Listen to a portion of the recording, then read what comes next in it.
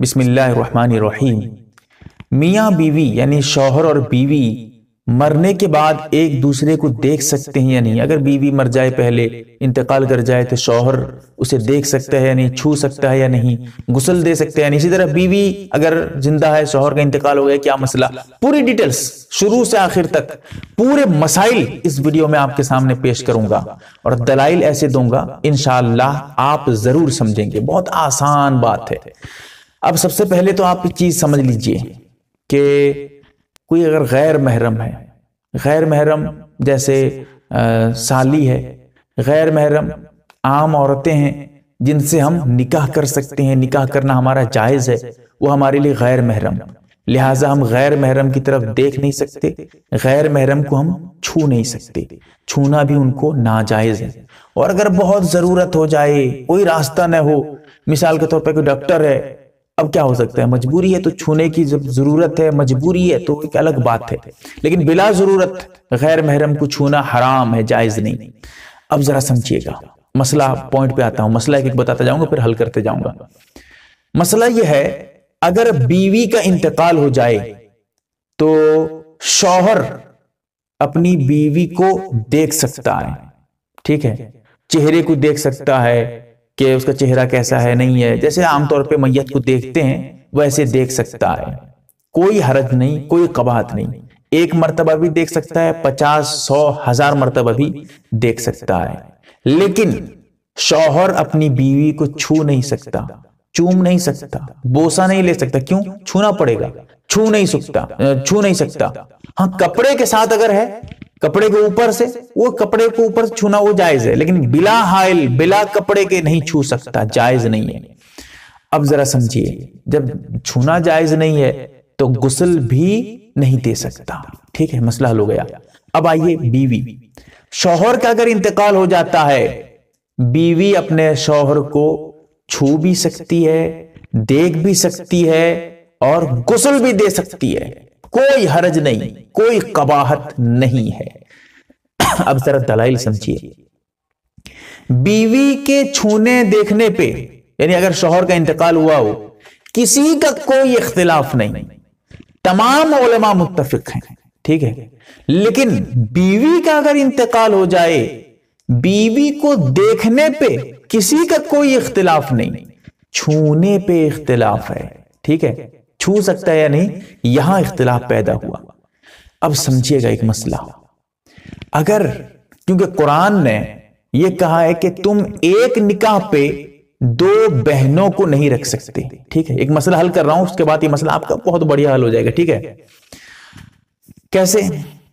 कोई दो बहनें हैं, सगी बहनें हैं, इसमें तफसील है मसले पे, लेकिन मैं समझाने के लिए कहता हूँ। सगी दो बहनें हैं कोई एक आदमी चाहेगा, मैं इससे भी निकाह करूँगा, उससे भी निकाह करूँगा। एक साथ। इसको भी अपने निकाह में रखूँगा, उसको भी अपने निकाह पे रखूँगा। हराम है। जब पहले जिससे शादी करेगा, उसी से निकाह जायज़ है। दूसरी से निकाह हुआ ही नहीं। वो तो जिनाकारी है, हरामकारी है। वो निकाह हो ही नहीं सकता। हाँ अगर पहली बीवी को, पहली उसकी जो बहन थी, उसको तलाक दे देता है या उसका इंतकाल हो जाता है, अब उसकी दूसरी बहन से कर सकता है। एक साथ निकाह में जमा नहीं कर सकता। अब समझिए अगर बीवी का इंतकाल हो जाता है, ठीक है, किसी की बीवी का, अब वो अगर, जो शौर है, वो अगर चाहेगा तो बीवी की बहन से फ़ौरन निकाह कर सकता है। जनाजा दफन होने से पहले भी, नमाज़ जनाज, जनाजा से पहले भी, इंतकाल के फ़ौरन बाद भी अगर चाहेगा, उससे निकाह कर सकता है। ठीक है, किसके? इस औरत के, यानी उसकी बीवी की बहन से, साली से। समझिए, बहुत दिमाग की बात है, ठीक है? क्यों निकाह कर सकता है? बताइए। दो बहनों को तो निकाह में जमा नहीं कर सकता ना। अब निकाह उससे इसलिए कर सकता है, जायज़ हो गया, ताकि ये निकाह जो इस बीवी से था, साली इसकी जो बहन थी, इसकी बीवी थी, उससे जो निकाह था, वो निकाह टूट गया। निकाह खत्म हो गया। जब ये निकाह खत्म हो गया तो उससे निकाह जायज़ हो गया। फ़ौरन कर सकता है, कोई दिक्कत नहीं।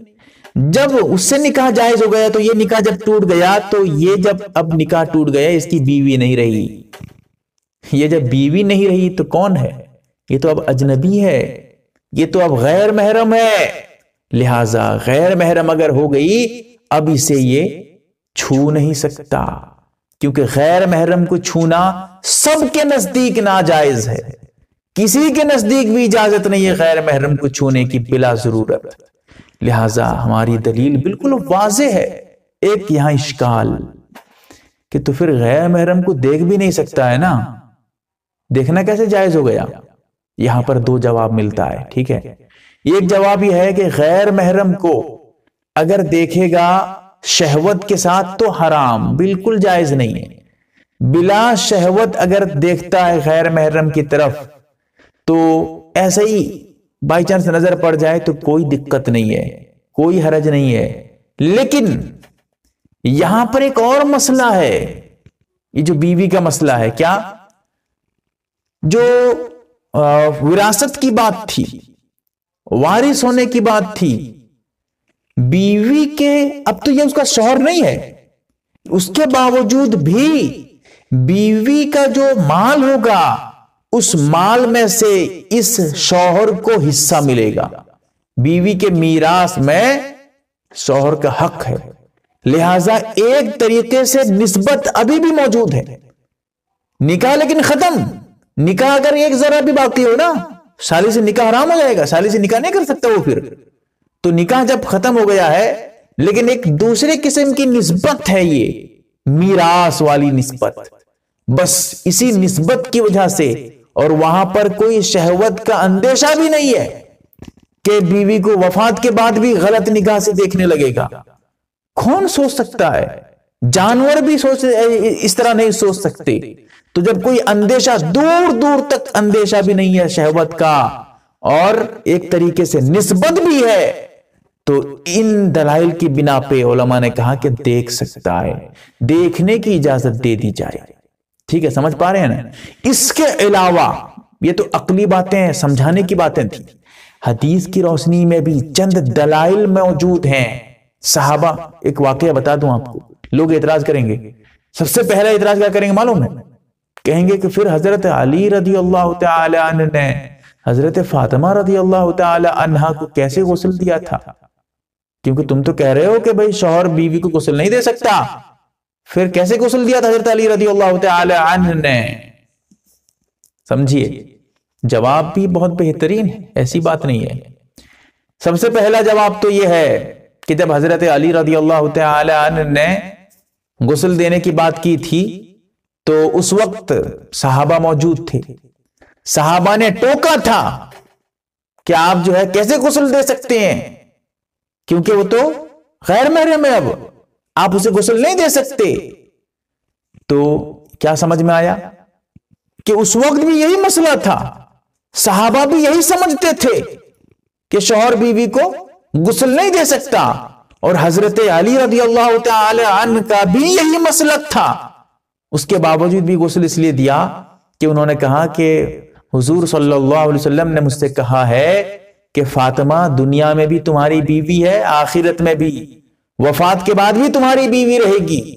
लिहाजा तो अभी तो हम शोहर बीवी हैं, गुसल दे सकते हैं।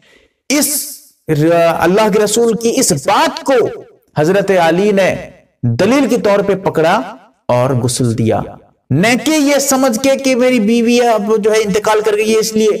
नहीं, अभी भी हज़रत फातिमा, हज़रत अली की बीवी थी, इसीलिए हज़रत अली ने गुसल दिया।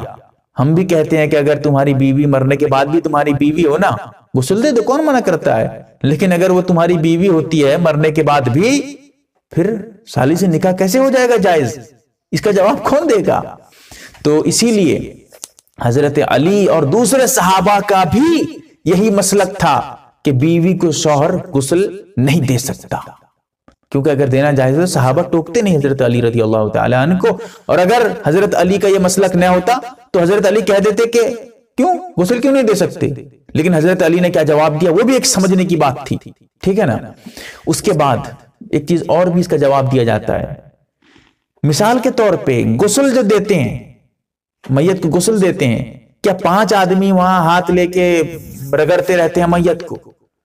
चार पाँच आदमी गुसल देते हैं। उसमें से कोई पानी लाने वाला भी रहता है, कोई पानी डालने वाला भी रहता है, कोई पानी जो है देने वाला भी रहता है, कोई वहाँ पर कुछ और काम करता है। तो जो जिसम को रगड़ने वाला कोई और है, एक आदमी हाथ पे जो है कपड़ा बाँध के वो मैयत को रगड़ता है। तो हज़रत अली रज़ी अल्लाह ये हो सकता है कि पानी वानी ला के देते हो, गुसल करने वालों में भी शरीक हो। इसीलिए हदीस में आ गया कि हज़रत अली ने गुसल दिया था। तो इसमें कोई दूर की बात नहीं है। इससे कोई घबराने की बात क्योंकि हदीस में तो यह नहीं आया है कि हज़रत फातिमा को हज़रत सिर्फ़ हज़रत अली ने ही गुसल दिया, छुआ था वगैरह। बल्कि हज़रत अली के अलावा भी दीगर नाम आते हैं, दूसरे नाम आते हैं कि फला फला फला और हज़रत अली, इन्होंने गुसल दिया था। तो गुसल में, जो पानी वानी लाने में, एक तरीके से उस अमल को भी गुसल में शामिल कर दिया गया हो, रावी उसको, रावी को अंदर की बात पता ना हो। एक इम्कान है। जब इम्कान है तो फिर पता चला कि तुम्हारी जो दलील थी, वो मुकम्मल नहीं हुई। तुम्हारी दलील पे वो मजबूती नहीं है। वो ताकत नहीं है तुम्हारी दलील पे। तो लिहाजा, हमारा मसलक, हमारा मसला जो मैंने बताया है, वो दलाइल की बिना पे ठोस है, ज़बरदस्त है। अल्लाह ताला हमें समझने की तौफीक दे, अमल की तौफीक दे। आमीन या रब्बल आलमीन।